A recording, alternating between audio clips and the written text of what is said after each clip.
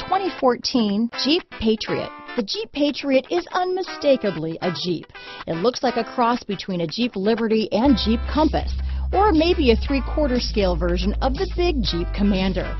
The Patriot has plenty of room inside for any size family. This vehicle has less than 25,000 miles. Here are some of this vehicle's great options. Anti-lock braking system, traction control, stability control, power steering, adjustable steering wheel, cruise control, floor mats, four-wheel disc brakes, four-wheel drive, AM FM stereo radio, rear defrost, fog lamps, CD player, child safety locks, passenger airbag, MP3 player, bucket seats, brake assist, auxiliary audio input. Searching for a dependable vehicle that looks great too?